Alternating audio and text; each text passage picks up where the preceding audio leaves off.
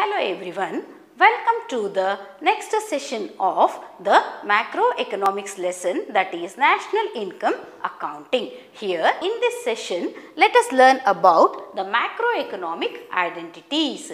The macroeconomic identities are the important key factors in affecting the GDP of a country. So, the GDP of a country has lots of additions and subtractions to be made uh, before it is derived.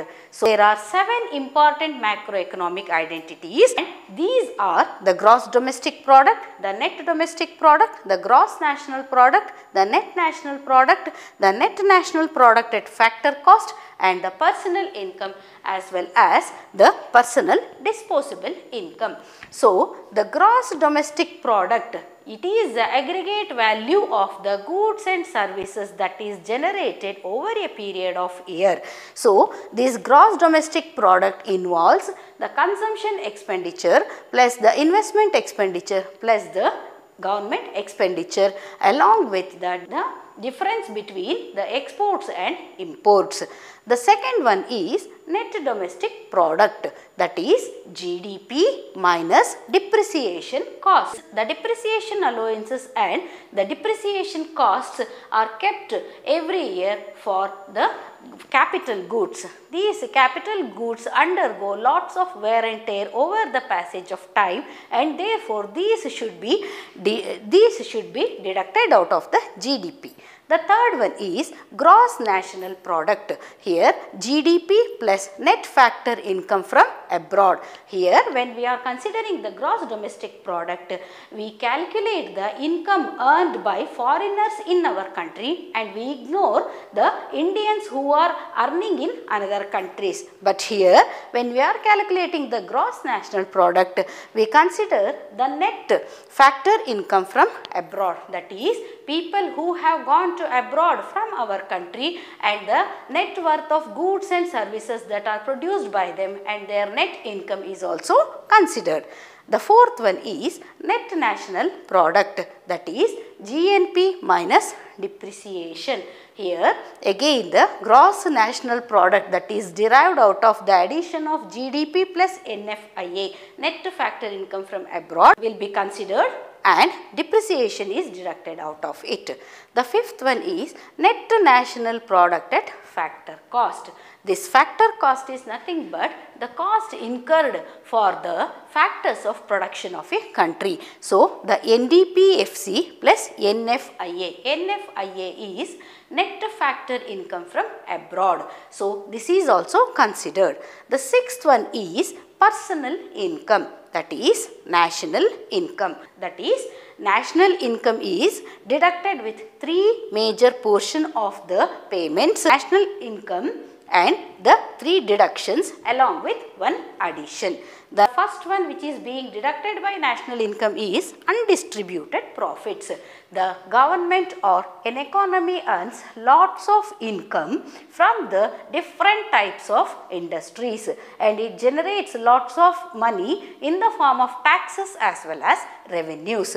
So, all these taxes and revenues are not going to be distributed together in a particular year. So, these undistributed profits, these profits are kept as reserves or savings. So, these undistributed profits are deducted. The next one is net interest payments by households the net interest payments made by households. Households also gather money for the production activity because lots of households are involved in income generation activities in the form of cottage industries and tiny industries. Today these households are also involved in the small scale industries. So, all these industrial activities have to be organized with the help of capital and for gathering the capital these households pay interest. So, the interest paid by the households is deducted. The net interest you can imagine the total number of small scale industries that are existing around our country and the interest for these arrangement of capital, arrangement of capital made by these households are deducted. The third one is deduction of corporate tax from the national income.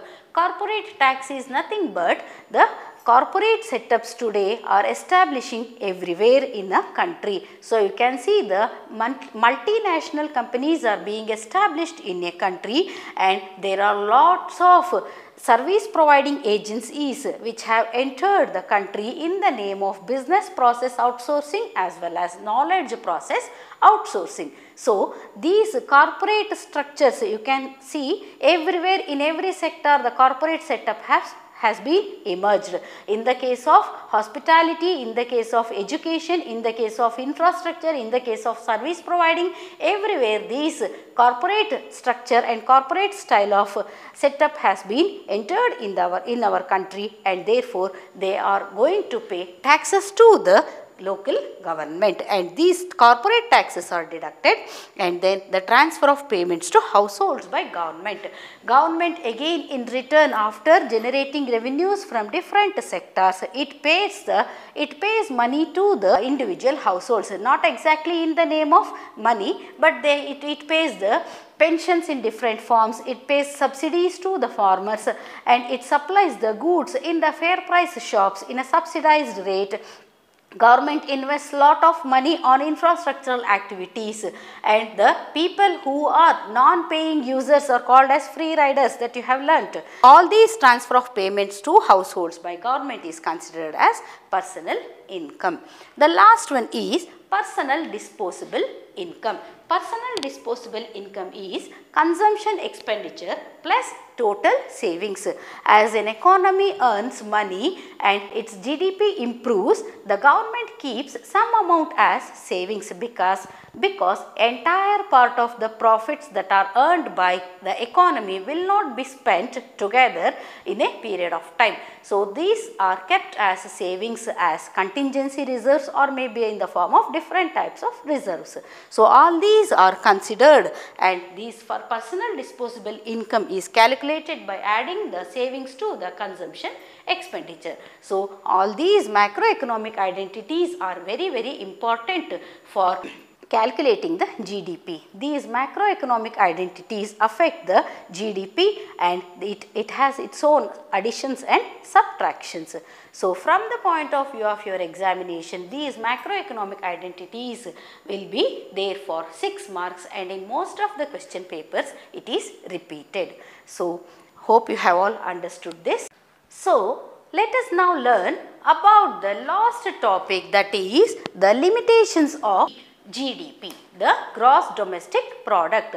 What are all the limitations in measuring the GDP? What are all the limitations that GDP has in measuring the national welfare of a country? So, GDP is gross domestic product that is the aggregate value of the goods and services produced in a period of year. So, the limitations are the first one is distribution of GDP and how uniform it is. The, and the second one is non-monetary exchanges. And the third one is externalities. And these externalities may be of two types the positive externalities and the negative externalities.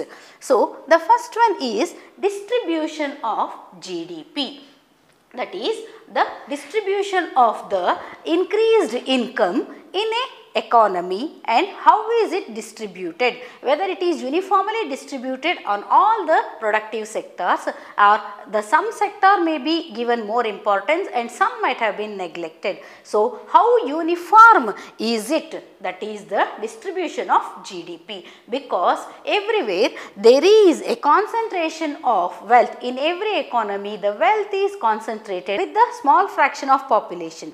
So, only few people have wealth and rest of the people who are in the rest of the residents of a country are still suffering for to meet the basic needs. So, here the GDP as a measure of national welfare is not going to satisfy the needs of all the residents of a country because it has its own limitations. If the government concentrates on only the poor people, the infrastructural development and other productive sectors are ignored. So, the development will also be postponed. So, if the country or if an economy wants to lead the country towards the GDP growth, then the government has to consider everything equitably. The second one is non-monetary exchanges. Here we can see that the government earns lot of money, but for all the factors the government is not making payment. For example, the services of a homemaker is not at all paid. Everywhere with the assistance of homemakers only the households are sending the factors of production like labor and capital. So, the homemakers who are the indirect supporters of the economy indirect pillars of the economy are not at all paid. They are not even having the salary, no pension benefits, no retirement benefits. So, this is the non-monetary exchange. The government or an economy gets services from the homemakers, but there is nothing given to them in exchange in the underdeveloped regions of the remote corners of the country or in the world also you can still today also see the barter system of exchange of goods. So, one goods are exchanged with another type of goods and these exchanges are not registered. So, the income generated out of this or the expenditures related to it or the trading transactions related to this barter system is also not mentioned and registered. So, they are again the non-monetary exchanges. So, there are some types of transactions which do not not have any kind of monetary involvement in it. So, again this is not considered while taking the calculation of GDP, while doing the calculation of gross domestic product. So, again this may be a major portion and this may be contributing to the GDP also, but when it is not considered it is again becomes a drawback in calculating the GDP. The next one is externalities.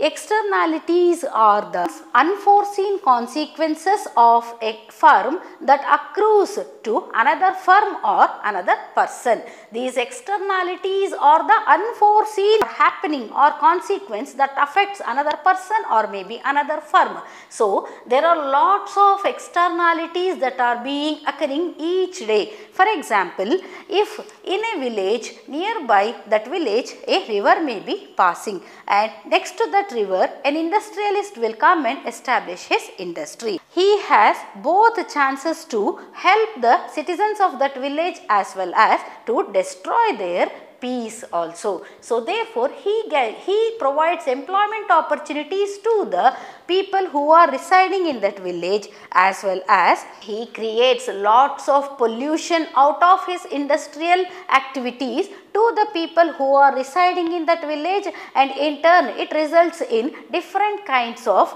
ailments. So, again the employment opportunities created in that village is a positive externality wherein the pollution caused through the industrial activity to that village is a negative externality. So, like this everywhere in every industrial setup we can find both the positive externalities as well as negative externalities.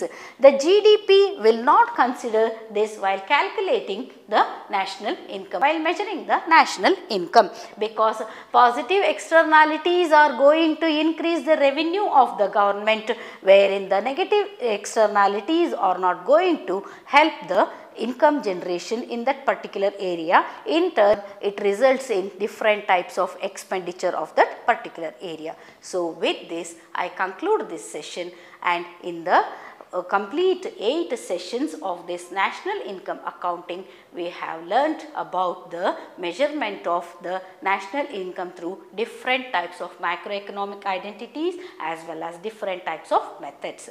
So, hope you have all understood. Thank you.